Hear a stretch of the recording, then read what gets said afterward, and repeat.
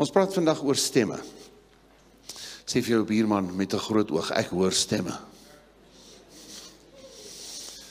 My broer, ons hoor stemme of ons dit nou wil en of ons nou nie wil nie. En die stemme daar buite word al hoe harder, al hoe meer, al hoe meer intens.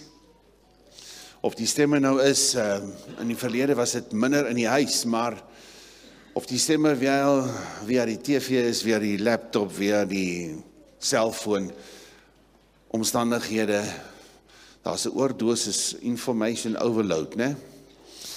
vir uh, die mens om te versuip in al hierdie stemme. En in daai opsig is die uitdaging soveel groter om te ontdek die stem wat vir jou sê wie jy is, die stem wat vir jou inlei tot 'n ewige lewe en dit is 'n verhouding met die Vader en met die Seun. Die stem. Die stem van God. En die en die en die, en die uitdaging is nie om ek kan nie sy stem hoor nie. Daar's nie so iets nie. Johannes 10 sê die skape ken die stem van die herder. Klaar. Johannes 10. Dit is wat jy kan begin neerskryf. Die skape ken die stem, maar die maar die uitdaging is om die stem te herken. Te herken. Omdat ek besluit om soveel ander stemme te eer, soveel ander stemme nader te bring, die stem van daardie persoon wat daai sin gesê het en dit het my seer gemaak en dit het my verneder, dit het my onder toe gesit en van daai 10 jaar oud wat daai onderwyser gesê het of daai pa of daai ma of daai boetie of daai sussie of daai wie ook al het ek daai stem so naby gebring. En daai stemme rondom daai stem het klomp ander stemme gekom. Jy vat daai stem van seer. Jy vat daai stem en daai persoon het jou seer gemaak. En hier kom 'n stem van verwerping. Hier kom 'n stem van bitterheid. Hier kom 'n stem van van oordeel. Hier kom 'n stem van hardheid. Van hart. Hier kom 'n stem wat sê beskerm jou hart. Moenie jou hart deel nie. Want toe jy jou hart gedeel het, toe dit gebeur en dat gebeur en dat gebeur. En hier kry ons 'n hele geselskap. 'n Klomp mense wat by mekaar is en baie keer noem hulle dit eh, daar's 'n geselskap wat wat saamkom. My broer, my sussie, jy, jy kan dan neerskryf geselskap met 'n vraagteken en en ek ek wil jou vra en wie se geselskap is jy? 'n geselskap van stemme wat jy besluit hierdie stemme kom hierso via die die iTube, YouTube, die allei allei tubes en en en ek is okay dat hierdie ding praat wat die naam van die Here vloek maar nie noodwendig in daardie geselskap en nie in daardie sin nie, nie in daardie lied nie. In 'n ander lied Dis hierdie ou wat wat wat nou daar buite sing en dis nou dis nou die die 'n sanger wat nou in is 'n girl wat in is en en nie in hierdie lied vloek hulle nie maar ek raak gewoond aan 'n stem en hierdie stem daar's 'n gees saam met daai stem. Daar's 'n gees saam met daardie stem van daai persoon. Dan sê die skrif hou geen gemeenskap met duiwels. O oh, iemand moet my help met die klank asseblief have no fellowship with demons. Have no fellowship with demons. En daai fellowship met demons is wanneer ek maar okay is dat hierdie goed met my praat, dat ek maar hierdie musiek luister wat eintlik rabbies is. Dat ek maar hoor wat sê hierdie ene, hoor wat sê daai ene. En ek kry vir my 'n geselskap waarin ek tuis is, waarin ek gemaklik is. Ek is gemaklik dat mense saam met my skinder. Ek is gemaklik dat mense saam met my staan en en die regering oordeel. Ek is gemaklik dat ons hierdie vuil grappies. Dis nou nie een van ons nie, dis nou ander mense, maar hierdie vuil grappies vertel. Ek is gemaklik as hierdie ouens vloek.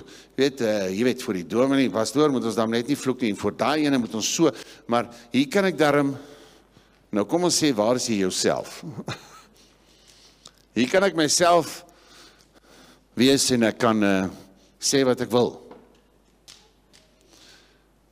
Ek kan sê wat ek wil. Jy en drie ander mense en hoeveel geeste.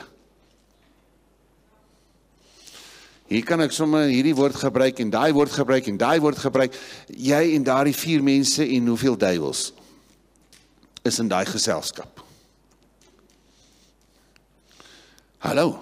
So as ek in 'n sekere geselskap so kan wees, maar in hierdie geselskap kan ek nie so wees nie. Moet jy verstaan? Jy het jou plek, jy het jou geselskap waar jy verskillende geeste saam met jou kan toelaat.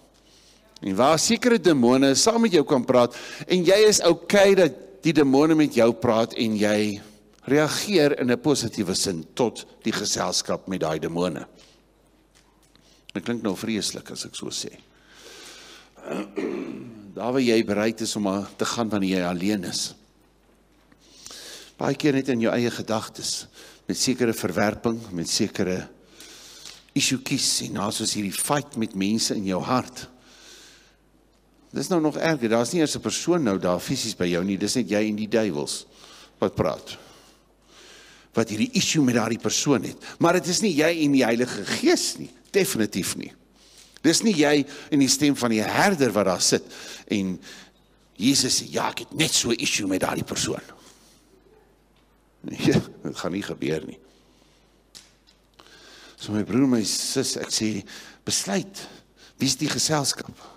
Wie is die geselskap wat jy om jou het? Besluit wie praat.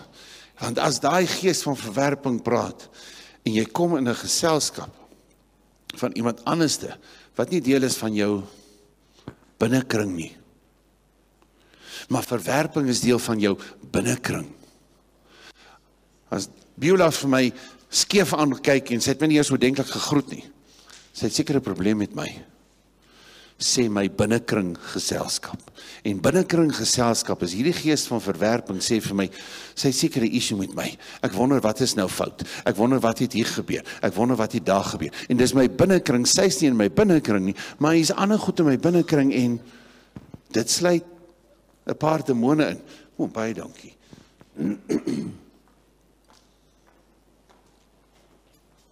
Is ons nog met mekaar? Stemme. Stemme, stemme, my broer, my sis. Sekere goed wat ek vriende kan noem, maar hulle mag in my huis bly. Baie ouens ja, vanuit 'n sekere konteks wat wat van hierdie demone noem familiêre geeste, familiar spirits. Dis geeste waarmee ek familier is. Dit word deel van my geselskap, my familie. Ek maak dit deel van my familie. Jy kan 'n pa en 'n ma, jy kan 'n boetie, jy kan 'n sussie hê, maar daar's ander geeste wat meer familie is as hulle. En dis daai kan daai gees van verwerping wees, daai gees van kompromie, daai gees van van woede, daai gees van bitterheid. Ag, ag toggie. Maar God het ons nie geroep vir dit nie. Hallo? Want binne in jou Binne in die diepste wese van wie jy is, is die stem van God in jou gees wat wederbaar is, wat maak dat jy nie 'n aap is nie, wat nie 'n gees het nie, maar wat jou maak die kroon van die skepping. En toe jou hart vir God gegee het, is jou gees wederbaar en die Heilige Gees getuig in jou gees. Eerstens dat jy kind van God is. Eerstens, Abba, Papa. En van daar wil die Heilige Gees saam met jou gees getuig, Heilige Gees in jou gees getuig oor soveel kosbarehede, oor soveel waarhede, oor soveel beginsels om die lewe te ontdek. Daai lewe wat verborge is in Christus. Onthou, ons gepraat van dit, né? You have a life that is hidden in Christ. God gaan dit nie vir jou net op 'n skinkbord gee nie. Want dit is nie cheap nie die grootste kosbaarheid in die hart van die hemel, Jesus Christus, die seun van God. In hom is die lewe. In hom is die lewe wat Vader vir jou het. En gaan ontdek jou lewe in dit wat die mees kosbaarste is, die sentraliteit van die hemel. In daardie plek ontdek wie jy is. Heilige Gees, en die woord sal jou inlei om te weet wie jy is en wat hierdie God van liefde vir jou het. En hoekom hy opgewonde is oor jou toekoms? Hoekom kan God opgewonde wees oor volgende week met jou? Hoe kan hy opgewonde wees oor wat in die res van die jaar vir jou voorlê? Dit hang af hoeveel stemme met jou praat. Dit hang af hoeveel stemme in jou binnekring is. Hoeveel ander stemme. Wat maak dat jy sit met spanning? Wat maak dat jy sit in angs? Wat maak dat jy sit en jy's jy's daar, jy's daar. Ek gaan hulle moet kan uitdryf. Ja, maar dis nie noodwendig nie demone uitdryf nie. Onthou 'n kind van God kan nie duiwel besete wees nie. Dis onmoontlik. Duiwel besete is hy's meer van jou gees. Maar daar kan demone in my siel wees met wat ek interaksie het. My gees is wederbaar en omdat jy wederbaar is, behoort jou huis aan God. En daarom kan jy as duiwels in jou siel wil kom woning maak, vir hulle sê uit. Julle betaal nie hier nie. Jy betaal hulle hier met jou lewe. Jy betaal die huur vir daai goggas om by jou te bly. Dis jy wat verloor. Maar nie een van ons nie in naam van Jesus nie meer nie. So ek kan daai gees van twis, daai gees van redeneer die hele tyd toelaat en hy is my binnekring. Of ek kan besluit God is in die binnekring. God is in die binnekring. En the battle belongs to the Lord. Bring die een wat oorwin het. Bring laat sy stem die hardste praat met jou. En as jy nooit in die die Bybel lees nie, as jy nooit in die woord inkom nie, byvoorbeeld my sis, outomaties daai duiwels gaan met jou praat, hel gaan met jou praat. Hel gaan in jou binnekring wees. Klaar. O, hoekom? Nee nee, ek soek nie dit nie. Sorry, jy kan nie teen daai duiwels en daai stemme staan sonder die woord nie. Net Christus kan teen dit staan. Net as jy sy stem op die toneel bring, net as jy sy woord bring waar hy homself gesê het vir die duiwel, daar staan ook geskrywe. So as die duiwel met die verwerping kom, as die duiwel met die vrees, met die angstigheid en al daai goedjies wil kom, die vergelyking met ander ander girls van hierdie ouetjies hou nou nie van jou nie of daai girls lyk nie meer van jou nie en hierdie en dit ooh en die stem van daai verwerping want hierdie ne praat nie met jou nie of hierdie ne wil nie dit nie daai en ek bring daai stemme in die binnekring in. Onthou julle toe party van julle tieners was so 4 dekades terug. ja. Kom ons slaak ons slaaf van daai stemme. Maar hou op om dit te veg. Gaan net na die stem van God, beweeg na die stem van God wat in jou is en laat dit wakker word in jou siel met die woord. Laat die stem van God wat in jou gees is wakker word in jou siel. Wakker word. Hoekom? Want jy kyk, wat sê hy? Wat is die tipe woorde? Wat is die tipe sinne? Wat is die opinie van God? Wat is die geselskap met jou pa? Hoe gesels jy met Vader en hy gesels met jou? Nie net al die opdragte, waar is ek verkeerd, waar is ek nie verkeerd nie. Wat is die wet? Wat moet ek doen? Wat moet ek nie doen nie? Wat is die strategie? Wat is nie die wil van God nie? Maar Vader wat met jou gesels. Wat jy hierdie verhouding kry met hom. Hallo. Maak daai keuse my boet my sis want in die eindtyd al hoe meer al hoe meer soos wat die dinge geskit word en al hoe meer die stemme en wat noem jy hierdie goed hierdie conspiracy theories en hierdie goed. Vir elke ding daar is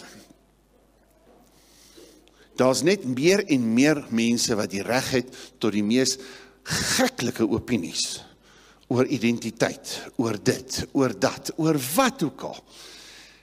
En hoe meer opinies hoe meer geklik word dit Want daar was 'n stem wat gesê het dit gaan so word.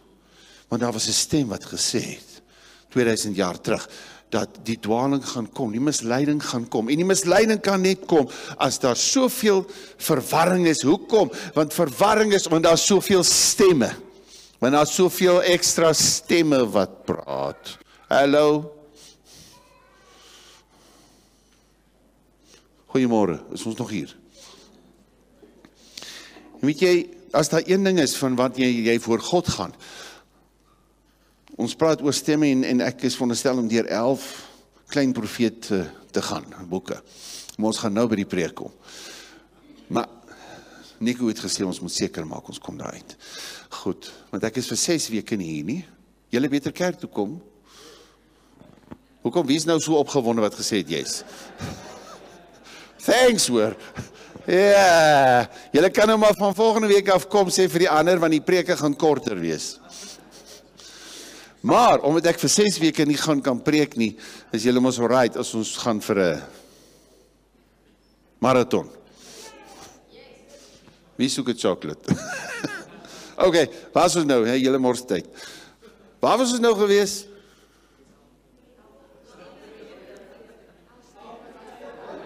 Nee, nie die 11 profete nie, voor die 11 profete. Ja, stemme, ja. Pad. Verwarring. Verwarring. Ai ai ai, my broer, my sis. Hoe gaan ek daai verwarring uitkry? In hierdie 11 profete en in 'n klomp van die ander, is amazing as hierdie profete kom en hulle praat van hier dit gaan joe, dit gaan hierdie oordeel gaan kom en hierdie goed en dan hierdie die ouens gaan uitgeruk word en al hierdie goed. Hoeveel keer dan sê hulle ook nie net bekeer nie, maar word stil. Wag op die Here. Wat praat hulle van? Dit gaan oor kry daardie ander stemme stil. Maar in 'n groot mate van dit is Lus net loop weg uh, van hulle. Waar waar is daai 5 wat goue sirkel moet maak? 5 manne. Kom maak net gou hier so 'n sirkel asseblief. Terwyl ek vir julle wag, uh, ek gaan hom nog aan. So my boet my sis as hy ding is van word stil. Hallo. Word stil voor God. Hoekom? Want jy het respek vir hom. Ek gaan hierdie ander stemme ignoreer. Give him a flat ignore. Almal sê flat ignore. Nee, flat, wat doen hy goed koffie, flat white of so iets.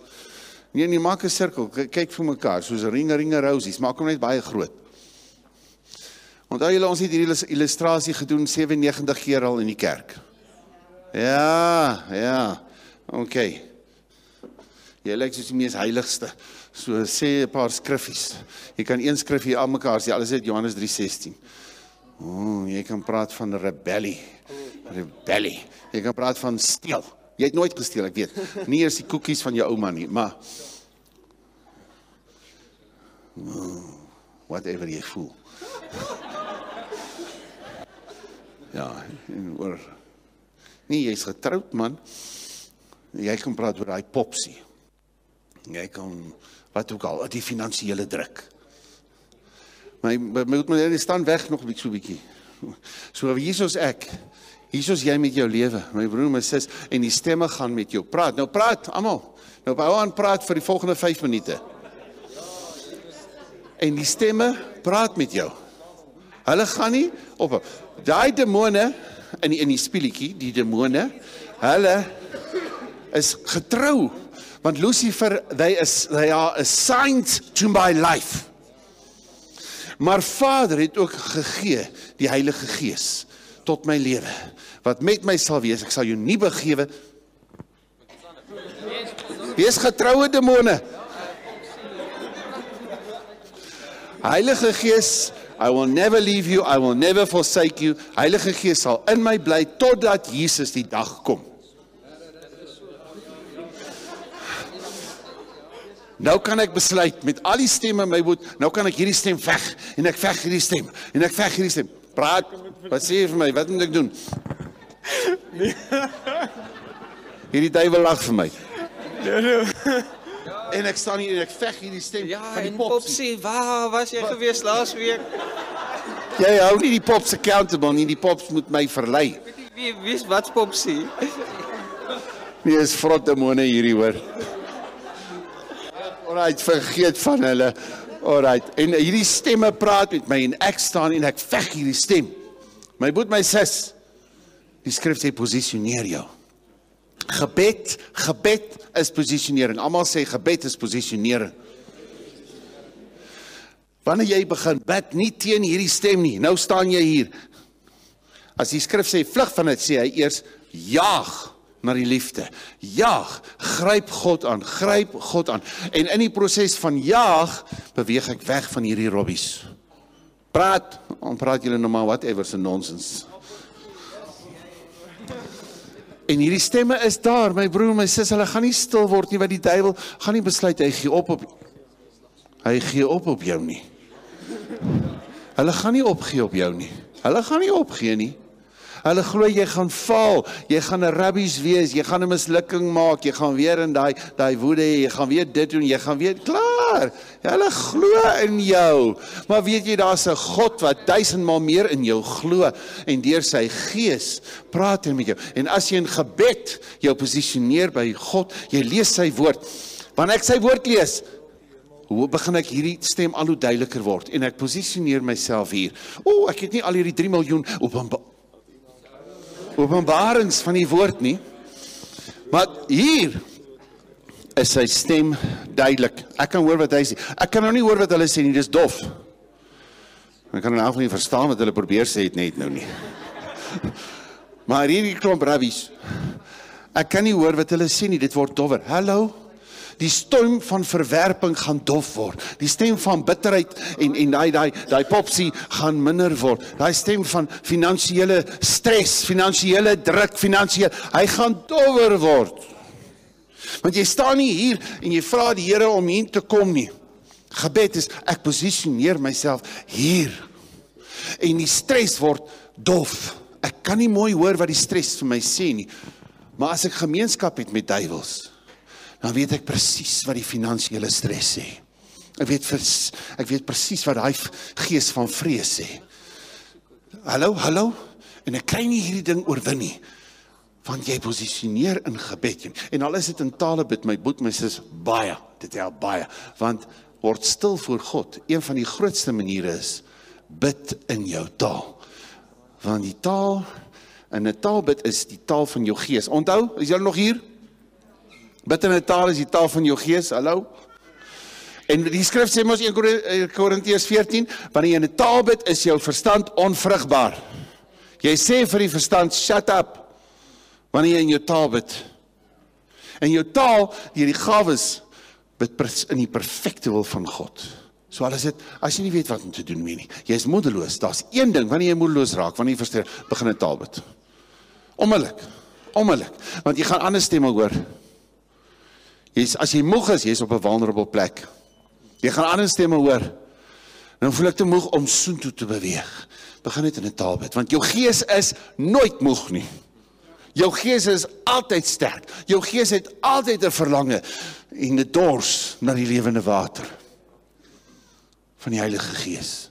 Begin in 'n taalbid of begin in die Bybel lees of jy dit nou verstaan of nie of jy nou wat ook al asof dit nou die geslagsregisters is, begin net en geslagsregisters en jy weet nie die Here sê vir jou staan want vir jou kinders en jou hulle kinders en hulle kind is daar legacy met dit wat jy glo met dit wat jy bid met dit wat jy verstaan met die woord wat jy spreek.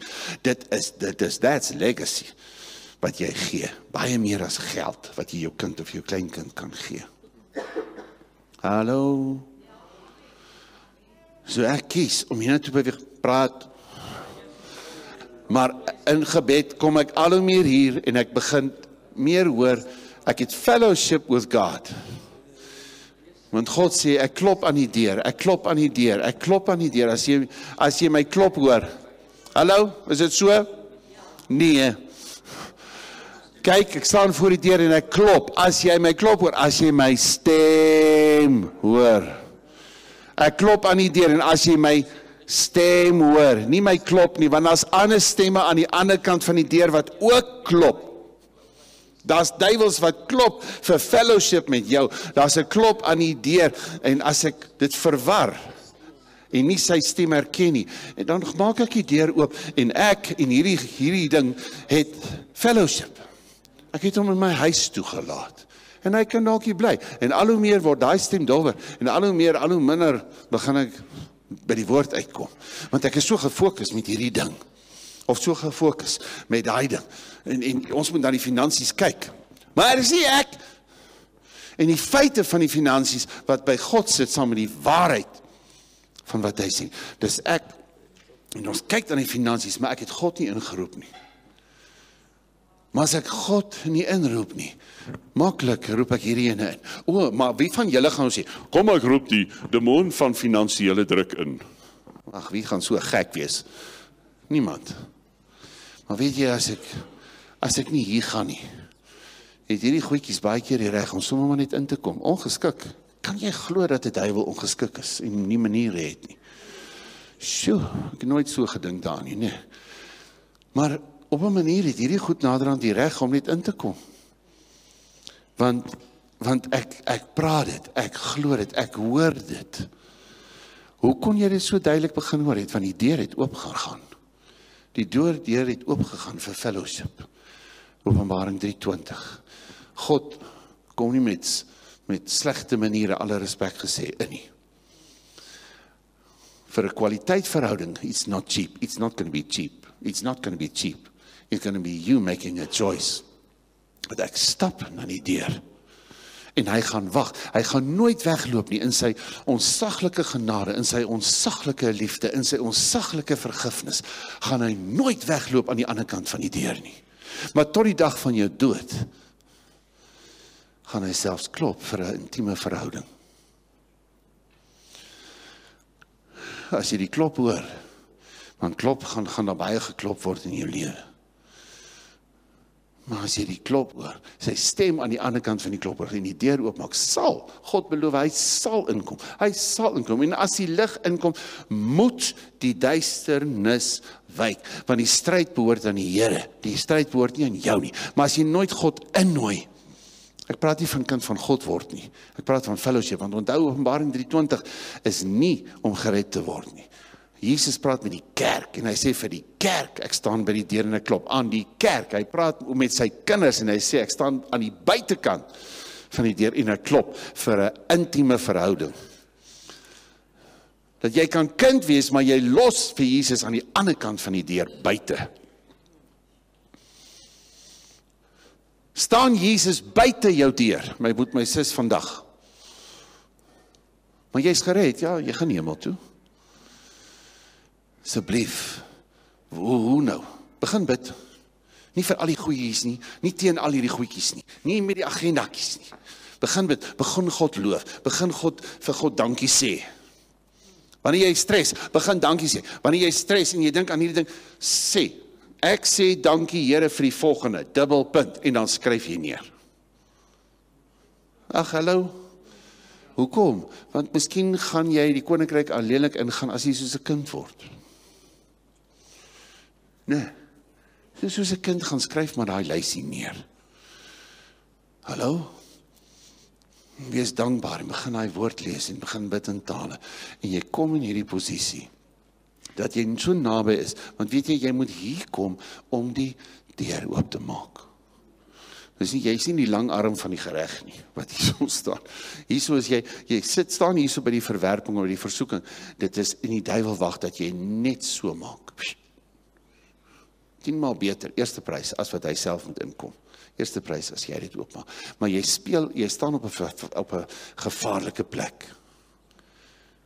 Wie het dit al gesien? As as jy as die woord gelees word of of of uh daar gepreek word. Kyk, 'n rugby wedstryd is meer langer as 'n uur, nê. Nee. Nou gaan iemand vir my sê, maar daar's dan 'n breek na 40 minute. OK, vergeet van daai ene. En ek het daai gedagte gehoor. Maar op 'n manier as dit 'n 40 en nog 'n 40, dis hoe dit werk. Klaar. En ek sal nie verveeld word na daai 40 en daai 40 nie. Ek sal die verveeldheid oorwin. Daar by die rugby game. Jy het besluit dat dit 'n sekere reg het in jou lewe. Daar's dis nie van die duiwel af rugby nie, dis nie wat ek sê nie. Maar jy het besluit in jou kop. Een van 'n gees het vir jou gesê dit is aanvaarbaar. En dit is alright. En jy geniet dit, maar dit is absoluut onaanvaarbaar. Dat ons gaan 40 minute doen. Dink nou net ek sê ons doen net 40 minute, kry vir julle goue koffie en dan gaan ons aan. Wat gaan manifesteer in jou? Want daar's een of ander iets wat gesê het dit werk so en dit werk so. Gaan kyk na die Bybel, in die Ou Testament hoe daai miljoene gestaan terwyl hy die die woord gelees het sonder klankstelsel. Goeie genigte. Dit is my dit is een van die wonderwerke, nie net iemand wat genees word wat blind was wat nou kan sien nie. Maar daai ek ek wil dit baie graag eendag weet. Klankingenieurs en selfs Nuwe Testament. OK. Hier lees ons, maar die maar die diens begin die oggend en hy gaan aan na die middag toe. Nie koffiebreek nie. Hy gaan aan. En hy is so, dis so boring wat die apostel sê dat die ou wat in die vensterbank sit val uit en hy val hom mors dood. Huh, wat 'n diens. As ons nou weggaan en vertel hoe boring daai diens was, my liewe magtig. Dit was so boring. Die, die ou in die vensterbank het aan die slaap geraak en toe val hy hom dood. Dis nou 'n boring diens gewees, né? Maar uh Alraai, kom ons stop gou die diens. Gaan net gou uit. Wek hom uit die dode op. Kom terug. Ek dink toe die ouens gefokus. ons gaan aan. Dis nie die doel was om die ou uit die doodheid op te wek nie. Toe die ou uit die doodheid opgewek word, toe kom ons terug na die doel. En dit is dat ons die woord hoor, dat ons ons vul met die stem van God, met die helderheid van die stem van God. Want dit is die fokus. 'n Ou uit die doodheid opwek is sommer so by the way. Hoe belangrik, my boet my sis, is die woord in jou lewe. Hoe belangrik is dit vir jou om die helderheid, die skoonheid, die mooiheid, die kosbaarheid van die woord deel van jou lewe te maak. Dat jy hom sal lees, nie omdat jy moet nie, nie sal lees want jy soek 'n antwoord, nie sal lees want jy soek die wil van God, nie sal lees omdat jou gemoed moet vernuwe word, maar sal lees omdat jy hom geniet. Geef hulle 'n goeie hand. Dankie.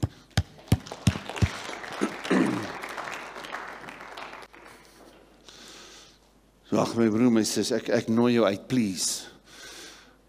Ons het gepreek in hierdie 15 jaar van die gemeente. Ek wil nie sê nie, daar's hoeveel? 52 weke in 'n jaar. Ons het seker in hierdie 500 600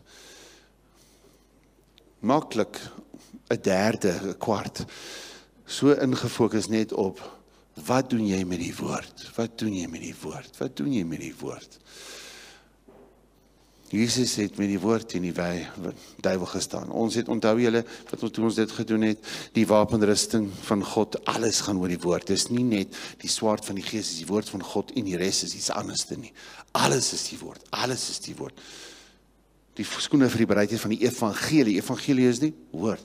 Die gordel van waarheid. Waarheid is die woord. Hallo, helm van verlossing, verlossing deur die woord. Woord waarheid gaan my vrymaak. Hallo, swaard van die gees die woord soos wat hy sê. Die skild van geloof. Geloof is vanuit gehoor gehoor vanuit die I rest my case. Jy gaan nie uit gaan kry vir jou Bybel gaan skryf neer gaan merk jou die goed in jou Bybel. Nie net op die foon nie asseblief. Nie net op die foon nie want jy gaan nie noodwendig jou foon vir jou kind gee vir jou kleinkind nie. Gaan gaan skryf neer wat God vir jou sê soos wat ons duisend keer gesê het. Gaan skryf neer wat God vir jou sê en gee dit as 'n stuk goud vir jou kind of jou kleinkind. Eendag met al die kosbarehede die goed wat God vir jou gewys het goed wat God vir jou gesê het. Amen